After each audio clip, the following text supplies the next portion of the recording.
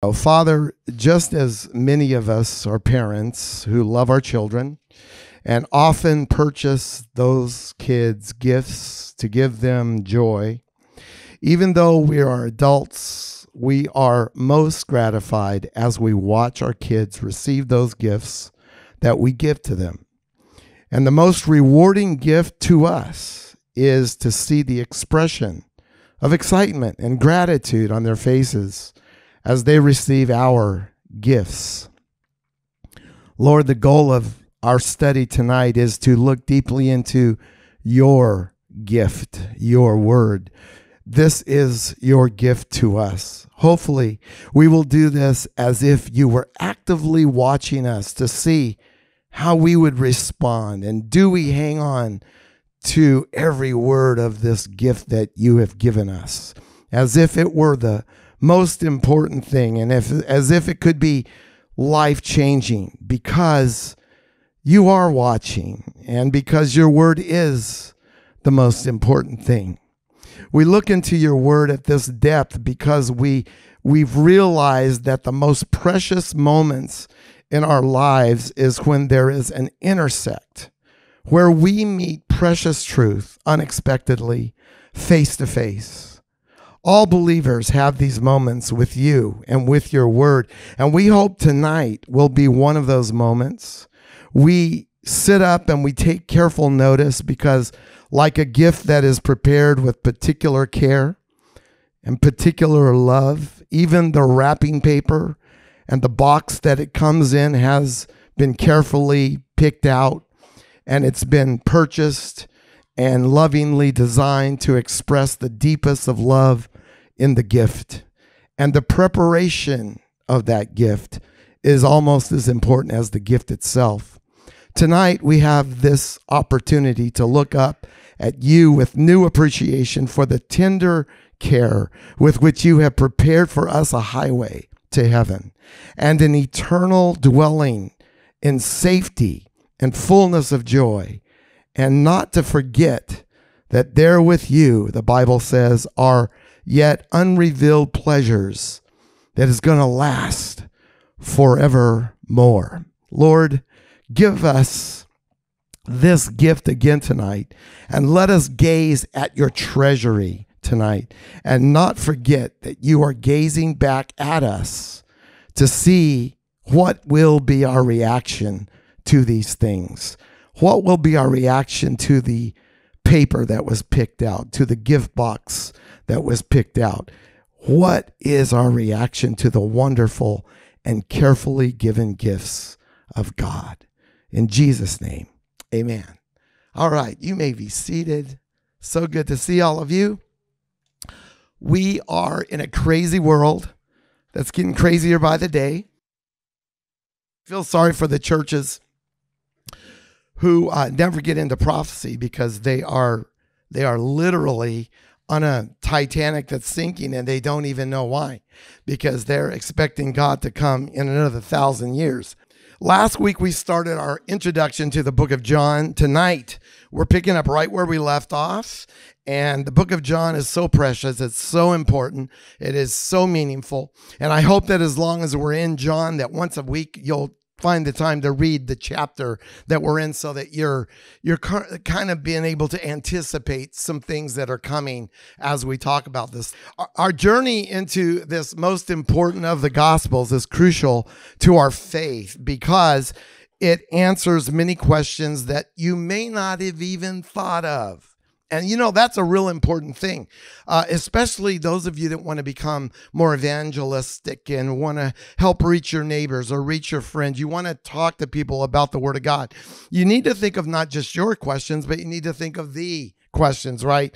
So that you will know because they're coming. The questions are coming, and we want to know these things and especially if we have kids, if we have children, our children and their children are not going to become Christian because they're our children. They're going to become Christian only if you teach these things to your children. And you have to teach them in a way that they will be able to grasp it and in a way that will make it interesting to them and make them want to learn these things. And so we really, really need to know these kind of things so that we can become teachers to our families of all of these things in detail. Because faith cannot be ordered and cannot be understood unless discipleship happens and discipleship has to be the result of following the Lord through his scripture through his word. And that's how we get this to the next generation and the next generation and so forth probably everybody here tonight is here because somebody before us knew God and knew scripture. And therefore, that's why we're here. I know that's why I'm here. I know that's why Susie's here. I know why my kids are here. I know why Ronnie's kids are here because that goes beyond Ronnie to how he was also raised around the Christian faith.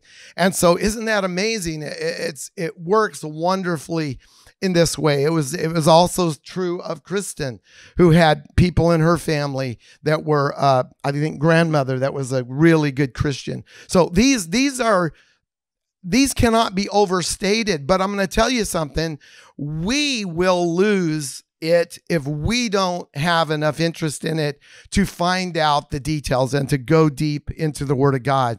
And it is amazing how many people are religious, but the Bible is secondary to them. Going to church is the big thing for them, going and feeling God is the big thing for them. But reading the Word of God, nah, they don't worry about that. They let the pastor do the reading of the Word of God. That's not good enough. You, you're born again, not by the pastor's understanding of the Word of God, you're born again by the the word of God by having a direct contact with it.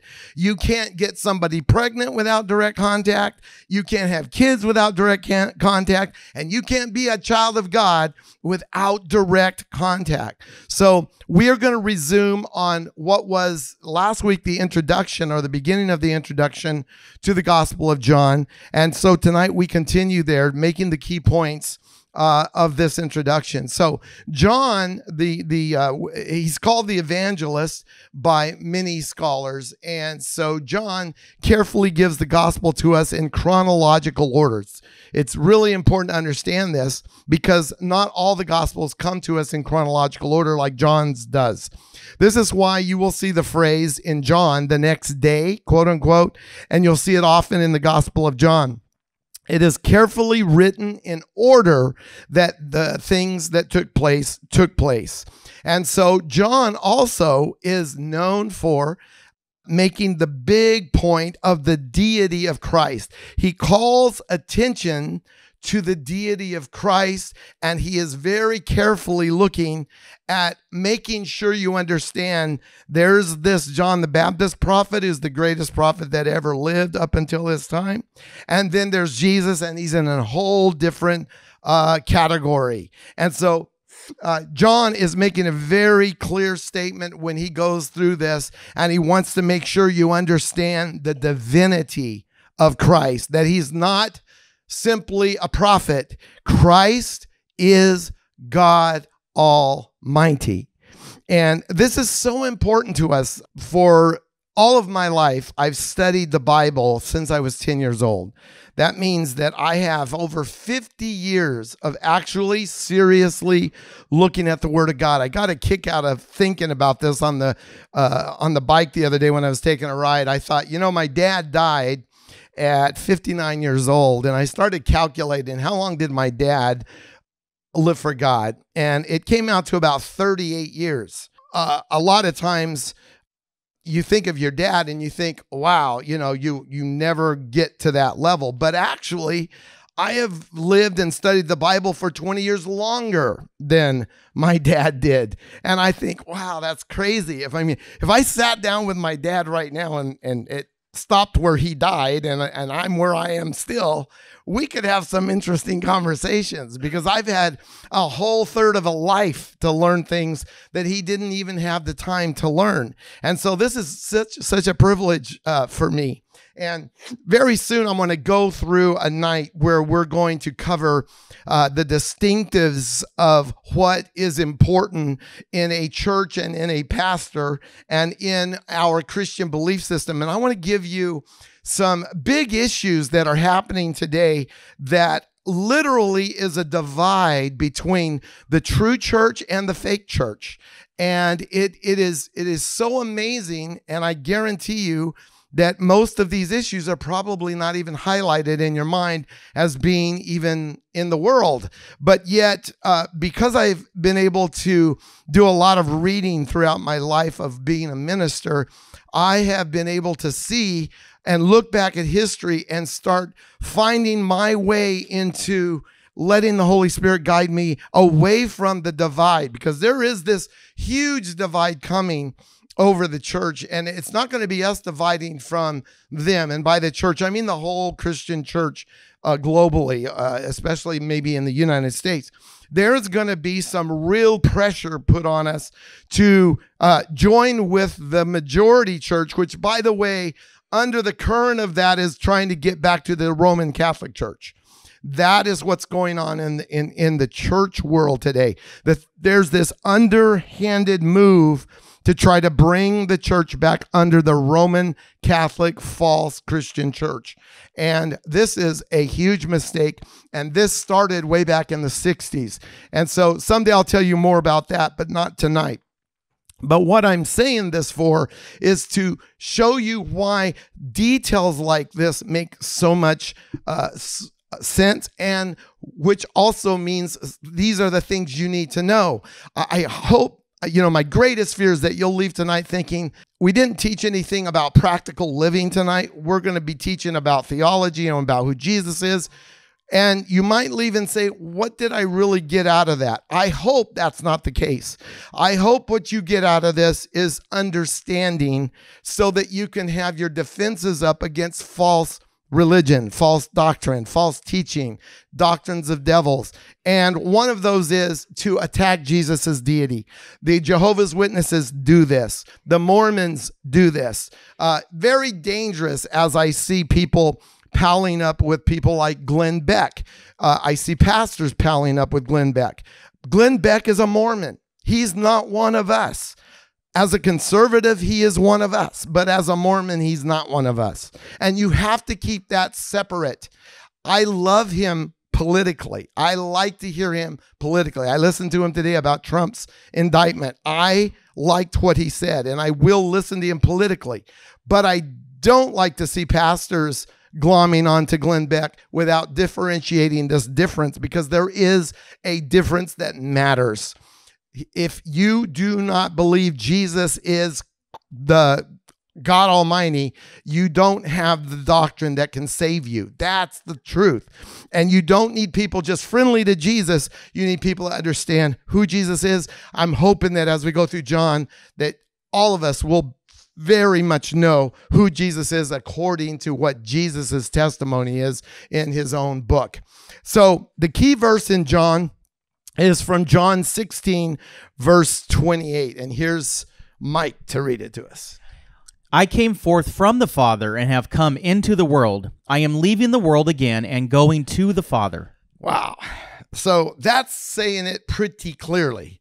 I came forth from the Father. Um, you, you, you can't say that. I can't say that. I, I, I can't even say I came forth from God in any sense in, in my human existence. But Jesus is saying to them, here's where I came from and here's where I will end up. And he is making it very clear. And John is telling us from Jesus' own mouth the truth about his uniqueness. This is not something that we can do. This is only something God can do. John the Baptist couldn't come to the to Israel as a prophet and say, "I came forth from the Father." No, they knew where he came forth from. He had a father and a mother. Jesus had no human father.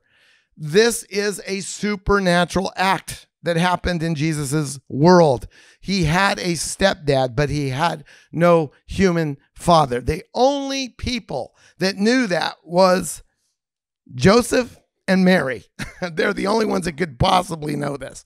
And this was the testimony. And Joseph, Jesus' stepdad, did not believe it until an angel, Gabriel, came to him and said, Go ahead, marry her. What has happened with her is supernatural and she is going to have a son, and you're going to call him Jesus.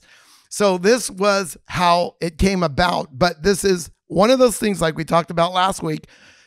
2000 years later we may just say okay okay that's that's what it is. Okay that's it. No i want you to understand this is a bizarro story. This is a story that you cannot with a straight face say is true unless you have faith in the god who can do things that are supernatural and who can do things beyond nature if you don't believe in the God who can do things beyond nature, you cannot believe in a virgin birth. You cannot believe Jesus came from the Father and then appeared in the world in human flesh.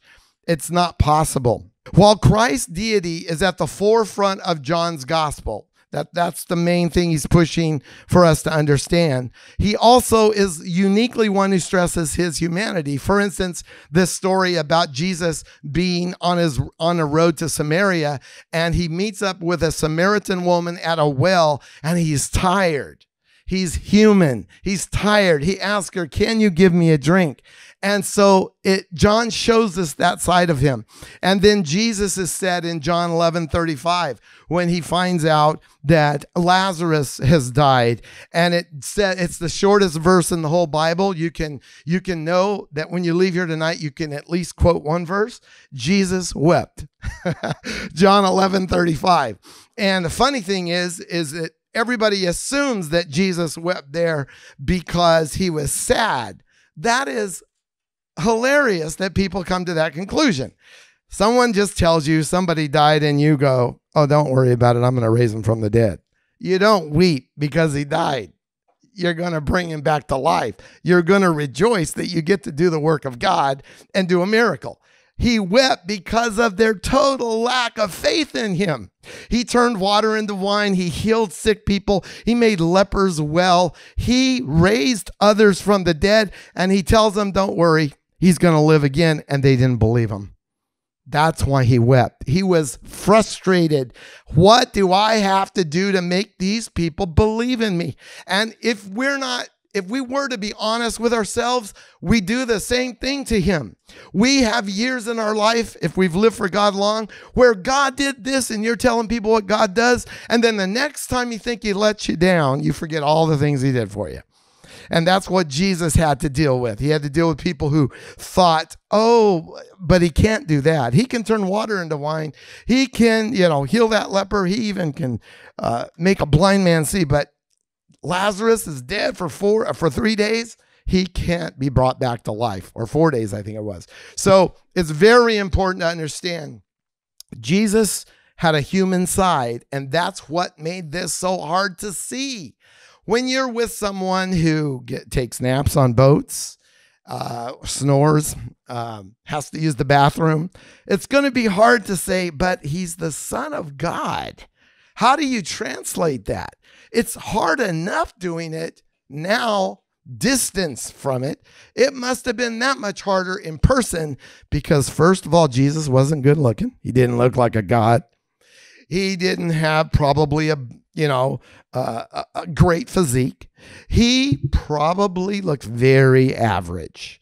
The Bible says, we know this because it says that he would have no appearance that would make someone desire him physically. And so this is interesting because what is this? This is God clouding the picture, as God is very good to do.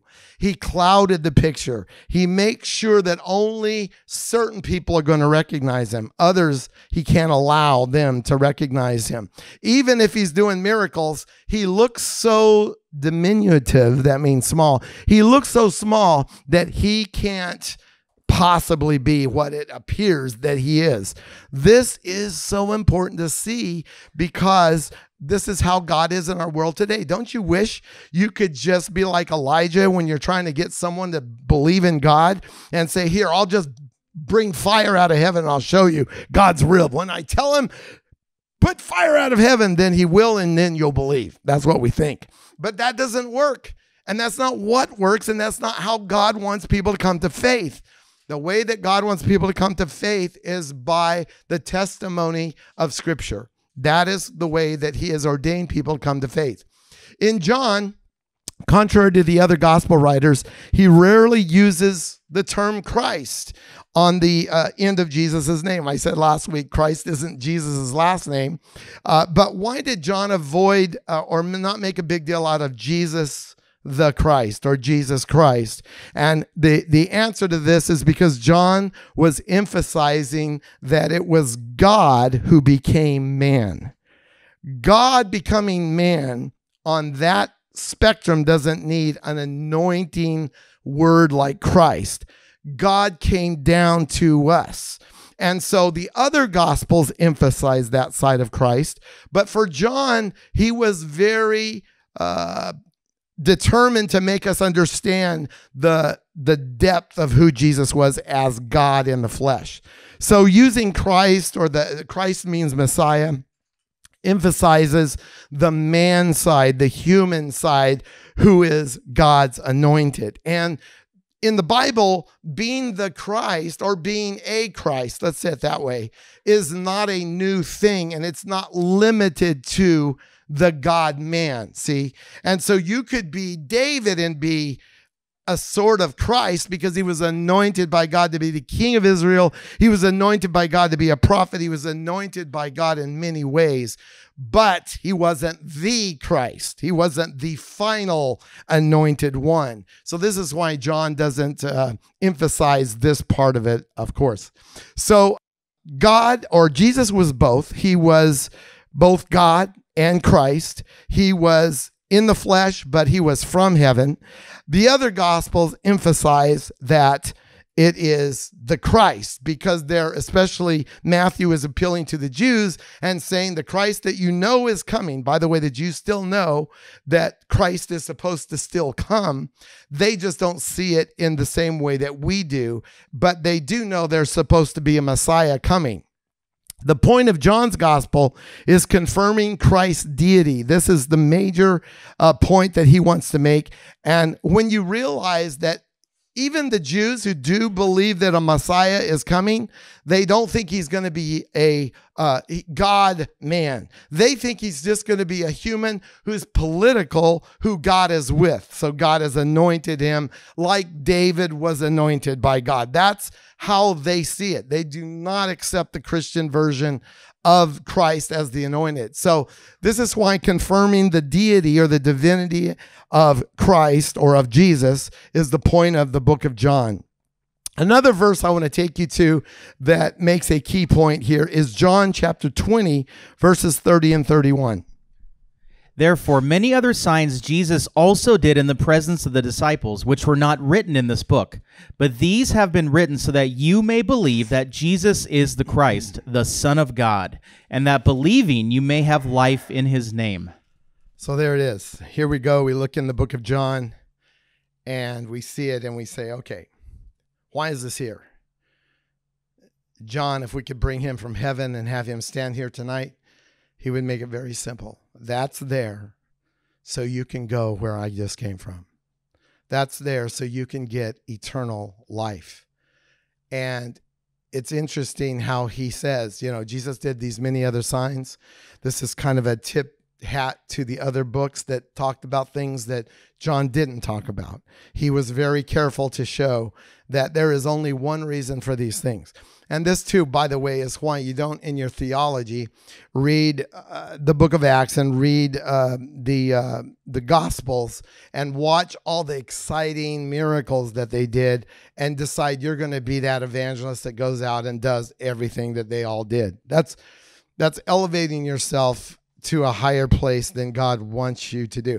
I, I'm going to tell you if God used us like he used Jesus or Peter or Paul, we would really have to have some hell in our life to keep our feet on the ground and not become proud and arrogant because you don't understand if if if God's going to use you he's got to have a weight on the other end of that use to keep you human and keep you understanding that you have clay feet that you cannot just go out and have God like use you like Moses or or or like Paul or Peter.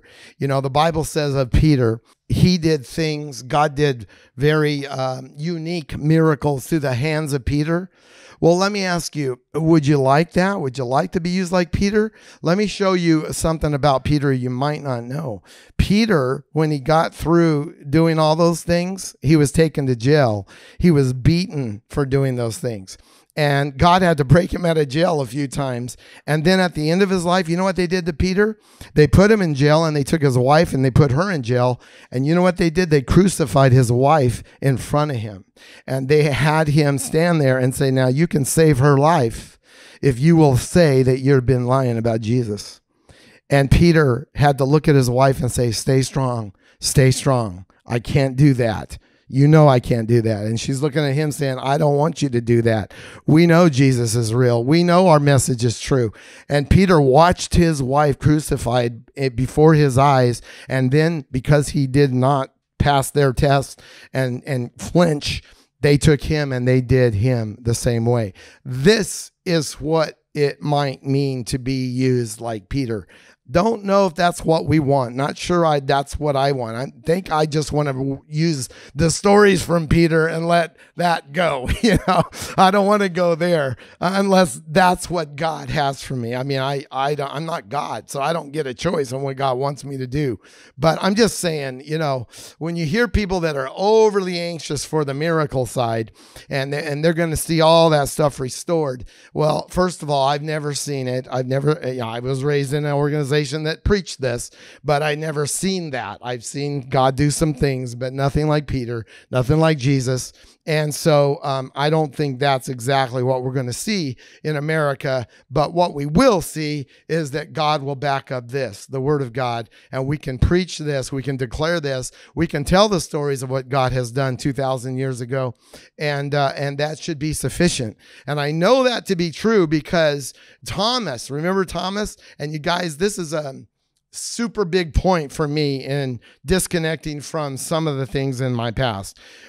G, uh, uh, Thomas says to the disciples who saw Jesus raised from the dead, they saw him after he was raised from the dead, and they witnessed it. They saw him, they hugged him, they touched him, and Thomas was not there. And so Thomas was told by these guys, uh, Hey, uh, Jesus is alive. And Thomas said these words I don't believe it. I won't believe it until I put my hands into the scars on his body, then I'll believe it. And so, Jesus, being the wonderful, loving Savior that he is, made an opportunity to show up when Thomas was with the rest of the disciples. And he shows up there and he says, Thomas, Thomas, come here. And Thomas is like, Oh, I see a ghost. And so he walks over there. He goes, Thomas, feel my hands.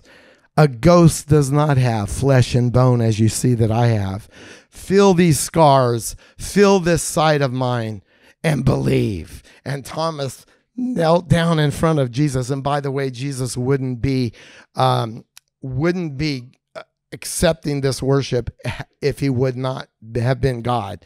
But Thomas kneels before him and says, My Lord and my God. And then the key is the words that Jesus said after that. He said, Thomas, you believe because you saw, but blessed are those who, having not seen, still believe.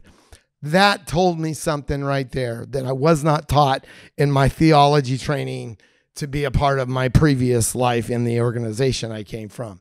And that is is that God's will is that there would be all of us, and all of us fit into this category, who believe in that Jesus that we have not seen and we have not felt his nail scars in his hands, but we still believe. And basically, there's a greater blessing for those who don't have to have physical evidence, who can take the testimony of witnesses we can trust. And all of the witnesses in the Bible, 12 disciples, 11 of those 12 died martyrs' deaths saying that what they had been teaching and preaching was so true they would not they would not save their life to deny it.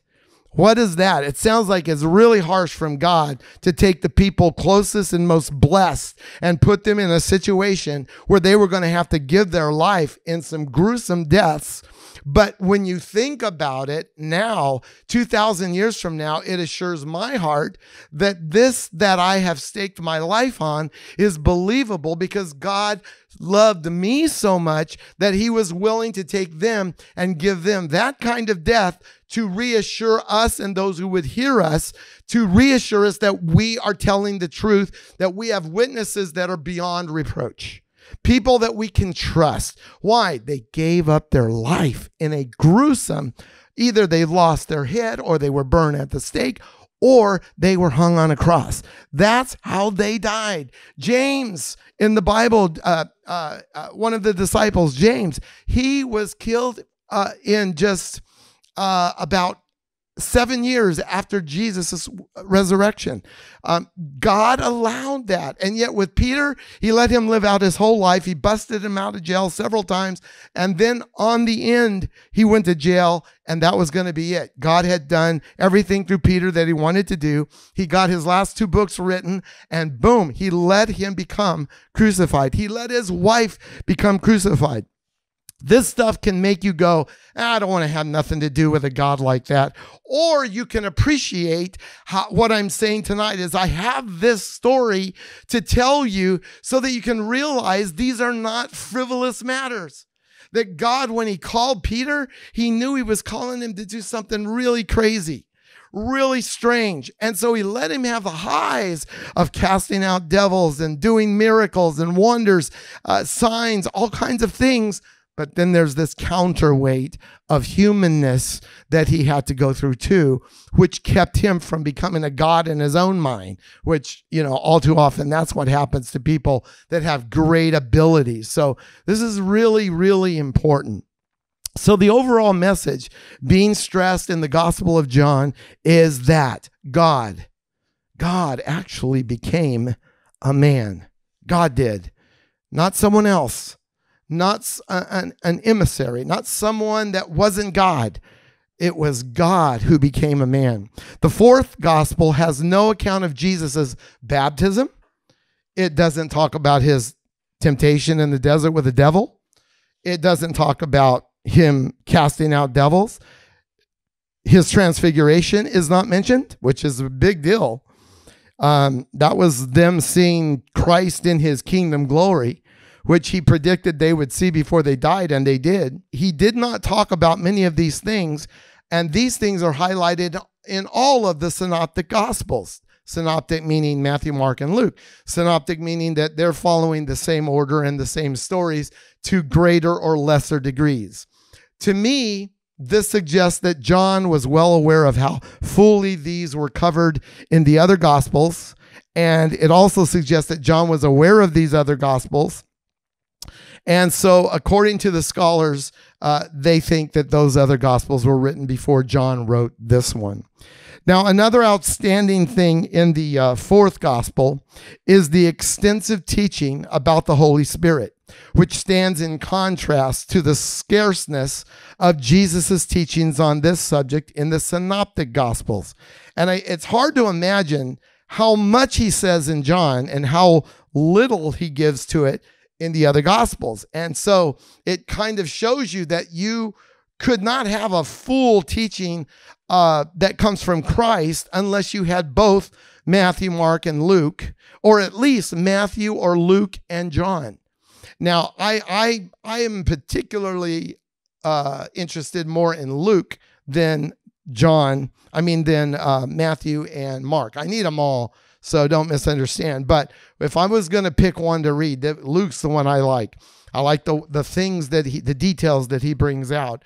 But there you're not going to get a full teaching of the Holy Spirit, which by the way, the reason for that is he's not talking about in Luke about the Holy Spirit operating in the church in the future.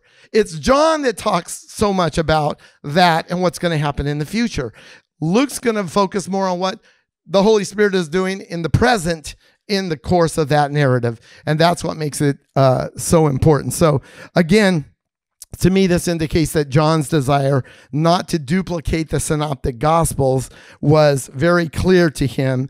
And so he wanted to strike a unique letter to, a ch- to the church that would have in it the additional needed information and the tools to combat false doctrines of his day because you you guys may not realize this but even in the days of the apostles immediately satan brought up false teachings and false doctrines and false apostles and false teachers. And so right away they had to defend what they believed. Even though they were the eyewitnesses and they had the authority that they had they still had to contend with these situations. So even though the things written in this gospel are to give birth to genuine faith Surprisingly, this may knock your socks off. Faith as a noun, it doesn't even appear one time in the book of John. That's crazy. But you know what does appear there? Believe. It is used 98 times. 98 times believe. I believe if I remember right, also in John, God calls, Jesus calls the Father, God the Father, using the term Father to point to him. I believe that was 90 times. So believe and father become a very important factor in the Gospel of John.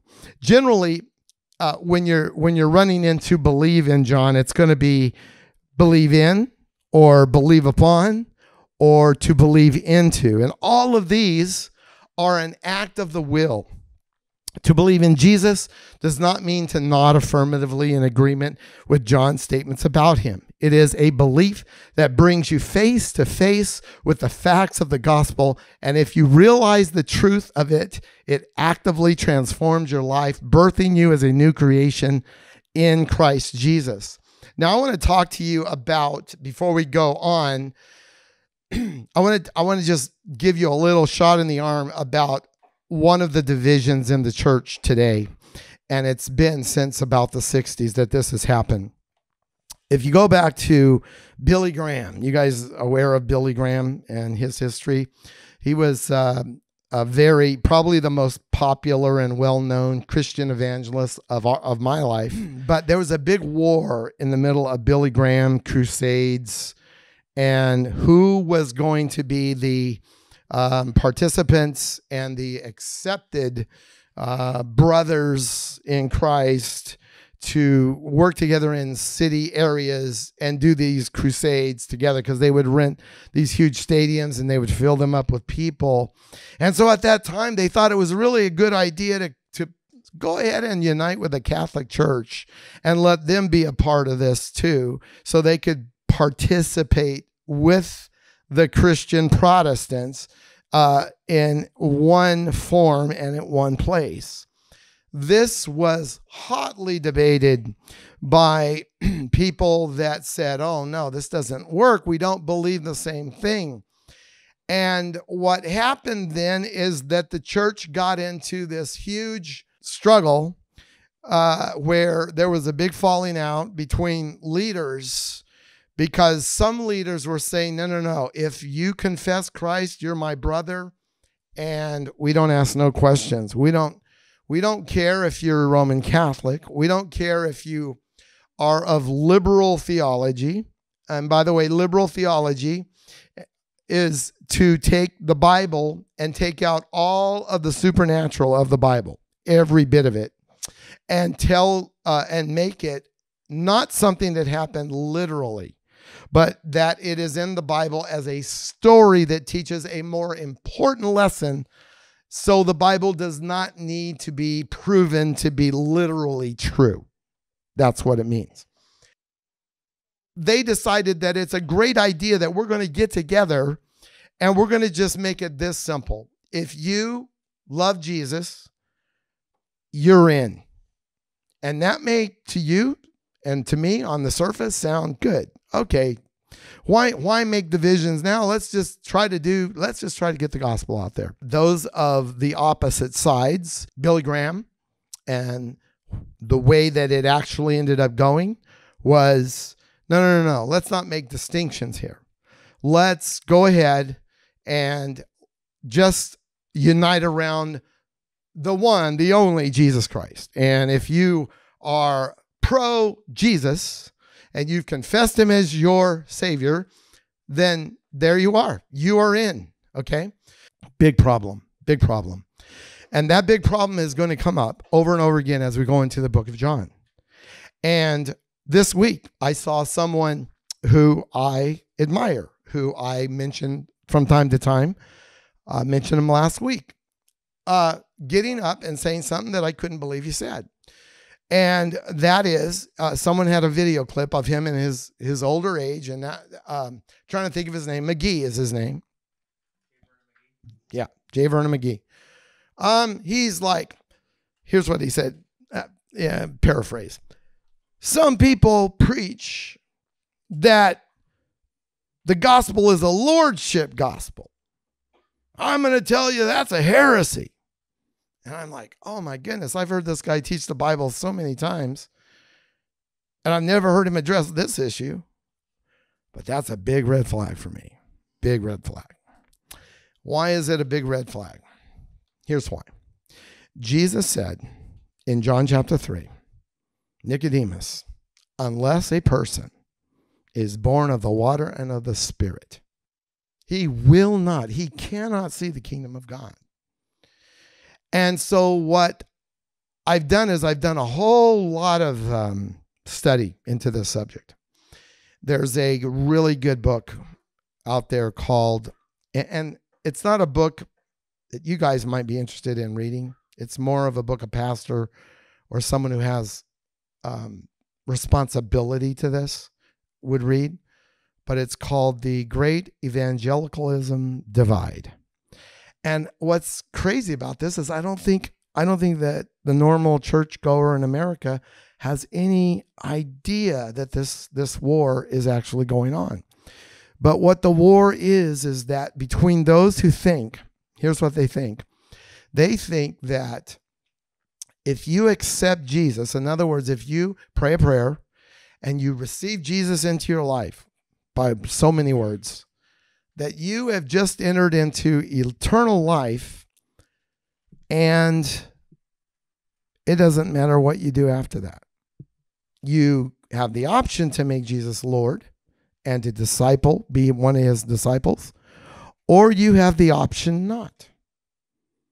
Because here's what they think they think that the minute that you say, I looked at Jesus, I asked him to be my Savior, you're saved and nothing can ever change that. One book that I have says this you can even become the Antichrist, and God cannot send you to hell because he signed on the dotted line, and when you accepted Jesus, you signed on the dotted line, and that's it. You're saved, always saved, never to be lost again, no matter what. And I'll tell you right now, I don't believe that at all. I don't believe taking a human and making them or coaxing them into saying, Jesus, come into my life, save me, and that seals the deal. I do not believe that it does. And I'll tell you why. Because there is a definite theology about what it means to be born again. And that theology is you have to go from there to what Nicodemus knew because Jesus chided him. Nicodemus, you don't know these things and you're the teacher of Israel. So you got to know that what he's telling Nicodemus is taught in the Old Testament, not the New. In the in the organization I used to be in, they would go from that John 3, 4 and 5, John chapter 3 verses 3, 4 and 5, they would take you straight to Acts 2:38 and they would never stop to think that, that, that that's future. That hasn't happened yet. So what Jesus is saying to Nicodemus, he says, "You don't know these things." So that he didn't have to wait to get to Acts 2:38. He needed to already know it. And the way you know it is you go back to Ezekiel chapter I think it's 36. And in there it says God says, I'm going to make a new covenant with you. I am going to take water and sprinkle it on you. There's the water. And I am going to take my word. Well, I'm going to take your old heart and take it out and put a new heart in you, a heart of flesh. In other words, a heart that can be trained and malleable and learn instead of the whole old calloused heart. And that is what it means to be born again. So if you do say, Jesus, I receive you into my life, and then that transformation happens, then you have been born again. But if that happens, Jesus clearly teaches through the Gospel of John and through the through the New Testament epistles, he clearly teaches that what is really going on is that he is looking for disciples. And in John, we're going to see this over and over. He's going to say things like, if you don't do this, you can't be my disciple. If you don't give up everything you have, you can't be my disciple. If you don't hate your father and mother and sister and brother, in other words, if, if there comes a tug of war between you and God and someone in your family, you got to act as if if I got to choose to hate one, it's going to be them and not God. And that's what Jesus is saying. You got to make your choice to go into these things. So, this is why it is really hard to find a real good church. When I came here to town, I didn't know I was going to do this. And so we went to several churches. I'm going to tell you, I pity people who try to find a good church that believes things the way that scripture is stated, you know, because it's not uh, it's not every church that does this. But what is so crazy is this idea that you can be saved, but you don't have to make Jesus Lord. If I believed that, then I would be with the Billy Graham Crusade and I would unite with the Catholics. But since I don't believe that, I would have been on the other side of that issue, and I am on the other side of that issue. And I don't believe that just because someone says, Lord, Lord, makes them a Christian. And that's what Jesus says in John. We'll run into this eventually. Uh, Lord, Lord, no. Uh, this is this is not what makes you a Christian. What makes you a Christian is the fact that something crazy has happened inside your heart. All of a sudden, you have interest in this that you didn't have interest in before. All of a sudden, this makes sense when it didn't used to make sense. All of a sudden, you're praying, God, make me understand this, when before is like, good, I don't understand it, so I don't need to read it. Big difference. It's so crazy. I talked to a guy today, uh, this week, that I work with, and I was working with him on a thing, and his name was Christian, and and I said, "Are you a Christian?" He's like, "Uh, no, no, I'm I'm not. I'm agnostic." I said, "Oh, wow." I said that that must be quite a quite a contradiction to have the name Christian and being agnostic. He goes, "Yeah, yeah, it is. A lot of things in my life are contradictions." And I said, "Well, you know, why are you named Christian?" He goes, Oh, my mom's a Catholic and she raised me as a Catholic and I went to Catholic church. I went to Catholic school and I come out an agnostic. And I thought, yeah, I've heard that story a lot of times from the Catholic Church. And that's because the Catholic Church don't believe this born again business at all. They believe the other side. They believe if they baptize you as a baby, that's what makes you a Christian. They got the water and the spirit happening when you have an infant that's a few days old and you go to Catholic church and they sprinkle the water on them and they declare the Holy Spirit's in them. All of that stuff sounds good. It doesn't actually happen. It's not real. Same thing in the Catholic Church is not real when you take communion. They said, "Oh, it turns into the body of Christ." And the the the juice, the blood, the wine, that turns into the blood of Christ. And they teach that as being that's what actually happens when you come to communion. Is that what happens when it comes to, com- to, to communion? No, it's not at all what happens. What that is, is a representation for the blood and a representation for the flesh that only looks back, points, it's like a big sign with a pointer. I'm saved because of Christ on the on the cross. I'm saved because of the blood he shed on the cross and then he was resurrected. That is what that means. So I hope that as I delve into these kind of details with you, that you will see that value. This is the wrapping paper. This is the beautiful gift. This is God going to great care to make sure you're not religious, that you have true religion. The Bible teaches in, in the New Testament epistles, it tells us that if, if somebody has denied the faith, their religion is in vain. The Bible says in James, I heard it today in my Bible reading today.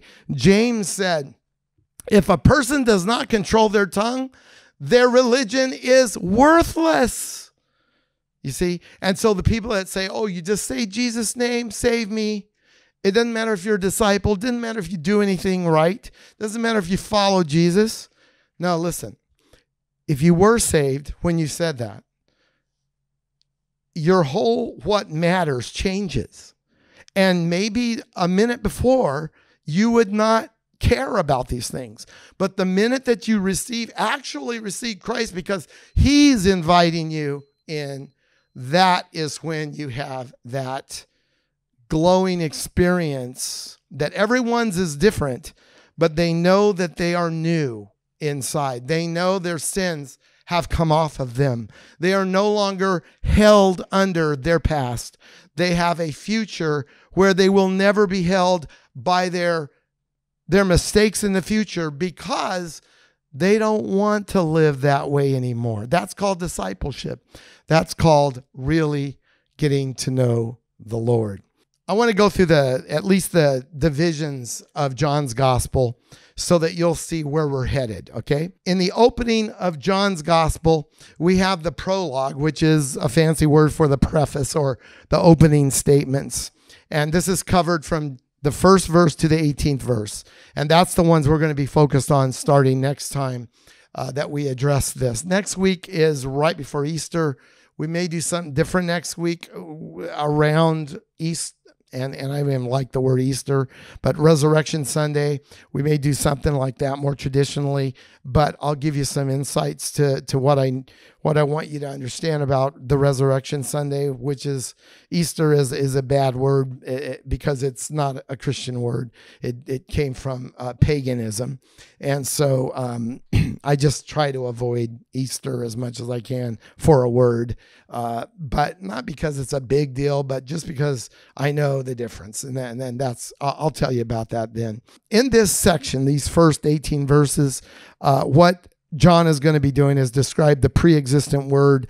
The Logos uh, is the big word, who will break down in a lot of ways.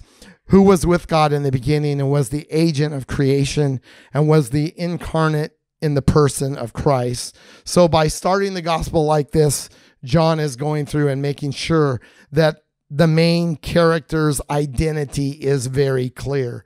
And so that is what's going to be happening there. And then in the next section, the most important section is the uh, introduction, which covers the remaining verses in chapter 1, verses 19 through 51. And here we're going to go through the all important testimony of John the Baptist. Think about it. John the Baptist was a prophet who gave his life for the testimony of Jesus. So the bulk of John is the testimony of Jesus' works and words and his miracles and signs this is what's going to be the bulk of the book of John.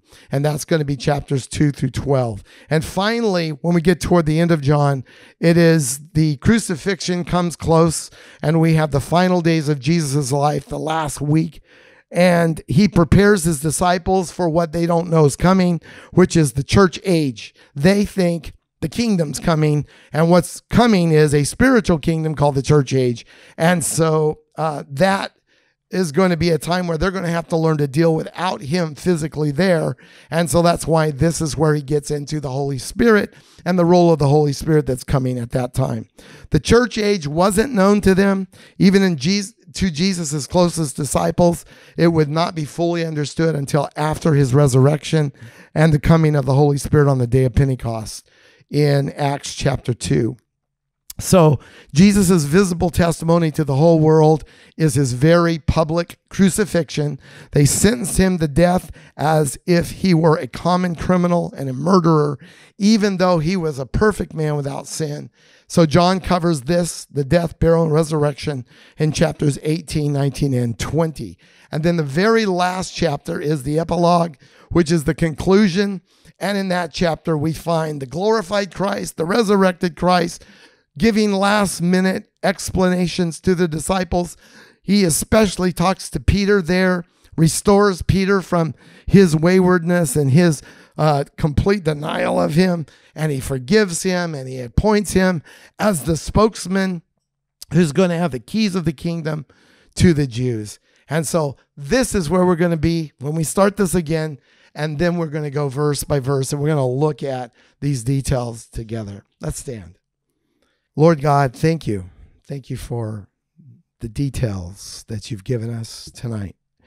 Lord, we pray that we personally will make sure that we are born again, that we've had that internal surgery where there's a new heart, a new faith, a new desire for you. And if that happened, then we are secure in our salvation. We are secure. Nobody can take us away from you. We cannot accidentally lose our salvation. We cannot even fail and then lose our salvation unless failure becomes our idol and we decide we don't want you anymore. The only way you can lose God is to give him up, to reject him, to deny him. As the Bible says in Paul's teachings, if somebody doesn't take care for, of their own family, then they have denied the faith, which means Paul believed in the ability to deny the faith. That's the only thing that can wreck us. Nothing else can. Satan can't. Demons can't. Doctrines of demons can't as long as we stay true to you and we keep ourselves in the faith. Continue. It's a continual thing. Lord, let it be true for all of us to be that and to teach this to our children. In Jesus' name, amen. Thank you for joining us on our Fathom Ministries podcast. If this ministry has been beneficial to you in your walk with the Lord, please consider a monthly donation to our ministry effort by clicking on the donate button in the description of this video or podcast. To find out more about Fathom Ministries Church, please join us at fathomministrieschurch.com. Thank you for listening and supporting this ministry.